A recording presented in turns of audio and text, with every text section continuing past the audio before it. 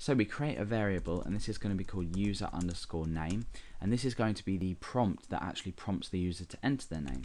So uh, we use the JavaScript prompt function and we type in please enter your name. So now once we enter our page this will prompt the user to enter a name so let's refresh.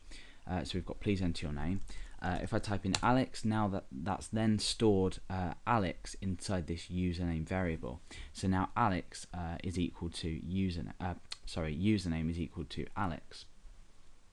Okay, so now that we've done that, we want to go ahead and actually send this uh, username to users.php uh, to be able to put into the database. but we're not going to do that just yet, um, so I'm just going to put a comment in here, send username to users.php. Uh, and we also have a uh, an action as well. So the action uh, will be, let me think, what did I call it before? Um, I think I called it user joined, I think, yeah. So we'll just say user underscore joined or joined. So the action for to send to uh, users.php, we're sending two variables.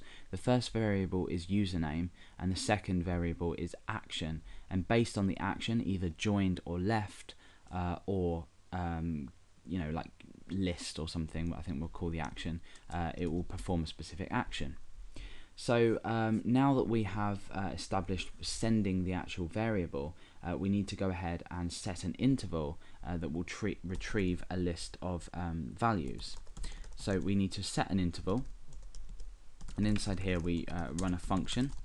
Now at the end of this, we, we give a second parameter, and this is the amount of milliseconds. That's 500, which is half a, a second.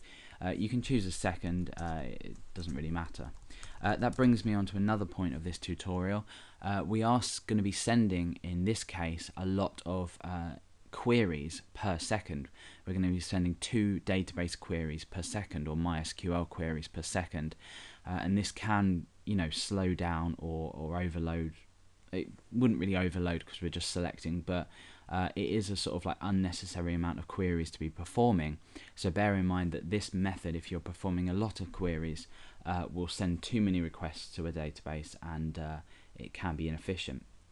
So here what we want to do is um, get list of users uh, and the action we are going to call list. Oh, sorry, list, not left, list. So every 500 milliseconds we're sent we're sending a uh, an HTTP request to users.php and the action is going to be list and that will just retrieve the list of uh, of users. So quite simple. Uh, the the last thing we want to do is we want to handle when the user actually leaves the page so either close the window or navigates away. So we use window dot unload and inside here we then create our function outline and what we want to do on window unload is remove user name. Um, and that's by sending that to users.php um, and then the action will be left i.e. not left as in left and right it will be left as in the user has left. So from users.php we can start writing this out now because we've outlined what we want to do which obviously doesn't work yet the when the user joins, they enter their username and it sends this to users.php and puts it into the database. Every 500 milliseconds, it retrieves a list of these values in the database, and when we unload the window, we remove the user from the database. So quite a simple outline uh, in, in uh, jQuery there uh, of exactly what we're doing. Uh, let's just go ahead and connect to our database and then we'll go ahead and look at the database structure. It's extremely, extremely simple, uh, but we'll take a look at it anyway. So we're connecting to a MySQL server. For me, this is localhost root, and uh, I don't have a password set. Uh, we're also then selecting a particular database, uh, and this database is jQuery. So let's go ahead and take a look at the jQuery database. So over to phpMyAdmin, we have, let's just browse, and let's just delete that, and look at the structure. So we've only got one field in here. I haven't set a primary key. Um, obviously, you would always set a primary key in a database. um, usually auto incrementing, but we've got a field called username and that's length of 55. So essentially all I've done is created a database called jQuery and I've got a table called users. Uh, there's another table in here called places, but you can just ignore that for now. Uh, we're going to be focusing on the users table. So now that we've taken a look at the directory structure, we'll know how to write our queries uh, so we can go ahead and start to uh, write users.php out. Uh, I'll go ahead and close db.php because uh, we no longer need it. In fact, let me just check that. Yeah, that's fine. Okay, so inside users.php, the first thing we want to do is require in db.php, so we have database access.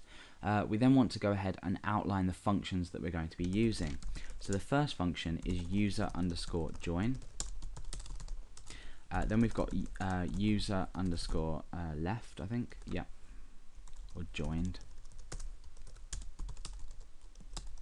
And then lastly, we have user underscore list, which will list users.